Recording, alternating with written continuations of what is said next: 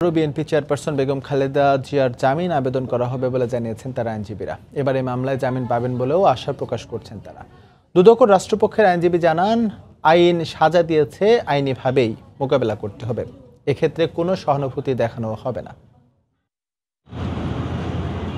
দেড় মাস বন্ধ থাকার পর রোববার খুলেছে দেশের সর্বোচ্চ আদালত। সব দিক বিবেচনায় নিয়ে সোমবার জিয়া চ্যারিটেবল ট্রাস্ট দুর্নীতি মামলায় হাইকোর্টে আবারও জামিন আবেদন করার কথা জানিয়েছেন তার আইনজীবীরা।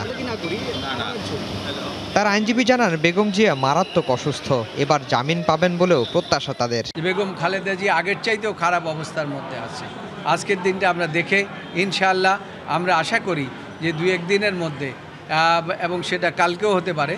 আমরা এই বেল পিটিশনটি আমরা আবার পুনরায় শুনানির জন্য আদালত এবং আমরা আশা করি যে আদালত সব দিক বিচার বিশ্লেষণ করে এইবারে বেগম খালেদা জিয়ার বেল আবেদনটি তারা গ্রহণ করবে। দুদক রাষ্ট্রপক্ষের আইনজীবী জানান জামিনের বিরোধিতা আইনিভাবে করা হবে। এক্ষেত্রে কোনো সহানুভূতির সুযোগ নেই। আদালত যখন মনে করবেন যে একটা মামলায় কতদিন সাজা হয়েছে সাজার অপরাধের ধরন কি তার উপরে নির্ভর করেই আদালত জামিন দেন।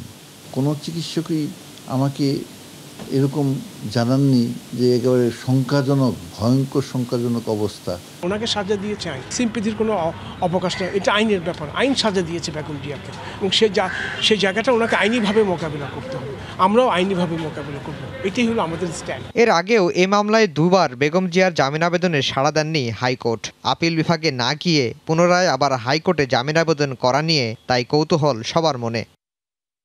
আফজাল হোসেন সময় সংবাদ ঢাকা।